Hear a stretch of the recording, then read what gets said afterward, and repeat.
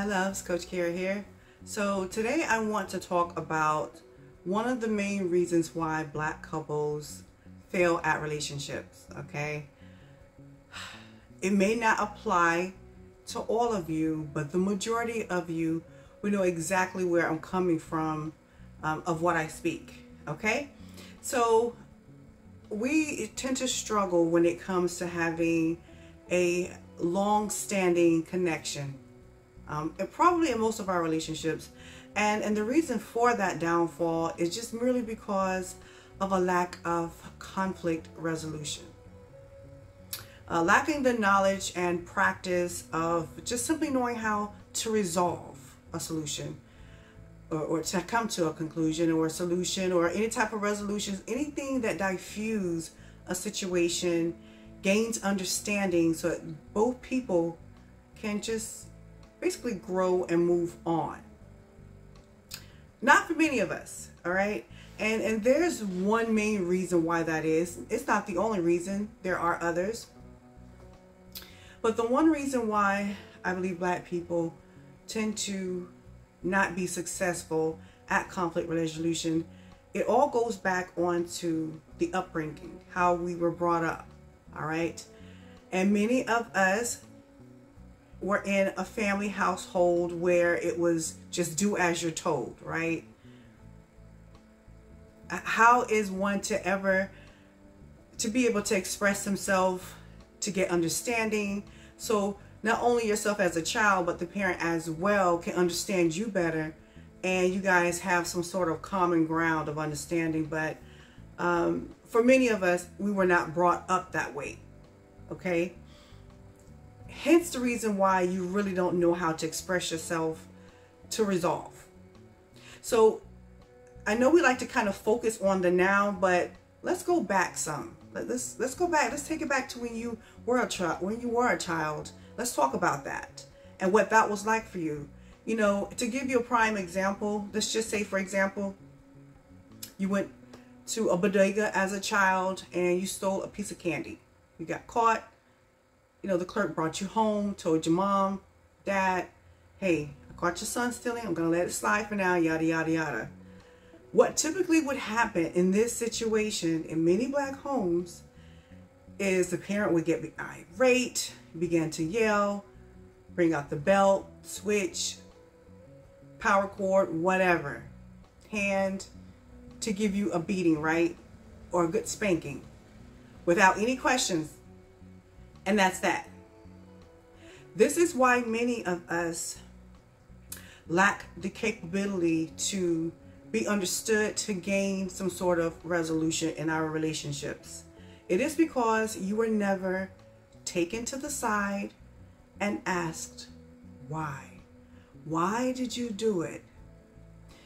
Those three letters are so powerful because you get a better understanding of what took place and of course, why? So why did you steal from the store? You know it's wrong, but why did you do it? I guarantee you, yourself as a child would say, well, because you're always saying how you're broke and we don't have a whole lot of money. And when we go into the grocery store and don't ask me for anything. So I wanted a piece of candy with my friend who had money. I didn't. So I just took it. That's why. Understanding. Okay, so what should happen right after then as a parent, you should say, hey, I, I'm sorry you felt like you had to steal, but you never have to do that. Even when you're scared to ask me, just ask me. If I don't have it, I'll get it to you. Maybe not today, but I'll make sure you get that piece of candy. So you don't have to steal. Do you know what happened to people that steal? They go to a very scary place and may never come back or something like that. But you know, you understand? Okay, I love you. Just don't do that again. You've gained understanding versus being beat, sent to your room on punishment, you know, given like the worst treatment ever without fully being understood. And now, as a child, when you're spoken to as though you are a human being and you deserve to be understood, now that child may feel more open to coming to the parent for anything mommy, this happened today in school. am I going to get in trouble? They may feel feel more comfortable and confident to come to you and speak, being able to express themselves. I was afraid to tell you because this would happen. You know, being able to understand their feelings and express that so they can be understood. And as you grow up, you take that same practice and that that upbringing and and those lessons with you and you ultimately begin to learn how to resolve. But when you're in a household to where you're yelled at you're screamed there's blaming you did this why didn't you watch after your sister your siblings or whatever it's your fault. All of that follows with you. Did you not know that? Especially if you were in a more I won't say toxic, but dramatic household where there's a lot of screaming, yelling all the time. No resolve, you know, very little apologies after you were yelled at or anything like that to make you feel better about the situation. There wasn't really any of that. So what happens when you get older and you get into a relationship and your partner begins to question you, you automatically begin to go on the defense because that's all you know. Well i didn't do that. Whatever. And then you leave the room and then and that's it. Nothing ever gets resolved it's because you weren't taught how to resolve you weren't taught how to express yourself so your person can understand you so you guys can actually sit down and have a rational discussion to get some understanding and rectify the matter and this is what's happening you're yelling at each other your tone is crazy. There's anger involved. You're both yelling at each other. There's no listening. There's no speaking to each other. There's no understanding. There's no agreement. There's nothing. It's all negative, heading in the wrong direction, which is never conducive to having a long standing, healthy, or somewhat healthy relationship. So, if you and your person are incapable of just solving even the smallest issues, like small things, things that can be resolved in a with just a okay, yes, I got you, I got you, and then you keep and you actually put that into action. Okay, you just can't say yes and then don't do it. That only causes more conflict. But if you can't small can't handle and resolve small situations or issues, your relationship is never going to sustain. I promise you. So just think if neither of you know how to resolve an issue, what does that basically mean? You probably shouldn't be in a relationship. I know, I know, I really don't like saying that, but for anyone who doesn't know how to problem solve, you really should not be in a relationship. You're supposed to have that dialogue, get some understanding, and find a solution, a silver lining, some sort of medium, you know, something. And then agree upon that and then actually do it. But if you find yourself going in a revolving circle, right back at the same situation, differences, so now you have all this garbage that has not been taken out. Can you imagine what that's like? Because one of you may not always want to be wrong or in the wrong, and that goes back to that childhood. Never wanting to be blamed for anything, never wanting to, to accept accountability because you were always at fault as a child. You know, you were never wrong. You never had the opportunity to express your right. So you immediately go into defense when you're accused of something. You know, and furthermore, it really goes back to having a great deal of respect for your person because when you respect someone that you really care about, never mind love, but simply care about them. You have a certain level of respect for this person. You're going to do what it is that you probably should do. Like if you know that you and your friends are going to be hanging out a little longer than you should, I mean, don't you think the courtesy that is due is just to call your person, hey, look, I may be an hour too late. Don't wait up, you know, whatever. I'll be chilling with my other side piece.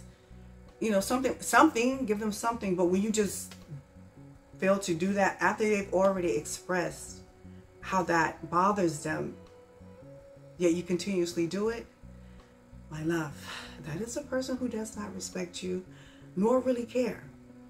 And and if they continually do things like this and have, you know, behaviors that are showing that I'm going to do what I want to anyway, what they're basically telling you is that until you kick me out of this relationship, I'm, I'm going to stay and put you through this. A lot of that stems from just simply wanting to be vindictive. They may have some, have some kind of animosity towards you and don't know how to express that. So they do the worst thing that they possibly can do that they know that's going to irritate the hell out of you. Okay. And, and cause you to go ape shit, for lack of a better term. They already know this. Hence the reason why you should not be in a relationship. Either with this person, vice versa, or either of you at all. And this is why black couples are failing at relationships. Look, it doesn't matter the class because you have those who live in the suburbs. They don't even know how to problem solve, which is very sad. And you talking about people who have you know, degrees, they're college educated and, you know, have a social status, a higher social status, but yet they don't even know how to sit down and have a sensible dialogue to come to some sort of resolution. That's sad and scary. And this is what's happening, you know, and I get it. It's, it's kind of hard to try to put yourself in a position to do that now and realistically speaking, the only way that you can teach yourself to be in a better state of mind when you are in a heated exchange with your person is just to take yourself through a whole lot of introspection, healing, doing a lot of work within, gaining patience, practicing temperament, you know, temperance. There's a lot of things that need to be had between the both of you. It can't be one-sided because again, it's never going to work. You understand? If your person is is the, is the issue, well, you're equally a problem for staying in this relationship. Guys, I always say you should never be in a situation with someone who does not want to be kept. If your person can't sit down and keep that vow that they're going to do better for you, well, it's only going to get worse. Especially when you have like a plethora of unresolved issues. It's simple logic. All right. So I kind of just wanted to share that with you guys. Um, one of the main reasons why we're failing as a whole in our relationships, you know, we just don't know how to problem solve. You'd be amazed at what it would be like if you could just get your person to understand you, sit down, have a, a rational conversation, agree to, to be better. You know, there's nothing better than change behavior. Your person can apologize all they like, but it doesn't matter if they don't simply change as well. I mean, for the better, that is. Okay? All right, my loves, I just wanted to share that with you. A little food for thought, something to take along with you. Nevertheless, if you need further dating coaching, all of my information will be linked down below. I thank you for joining me always. Until next time.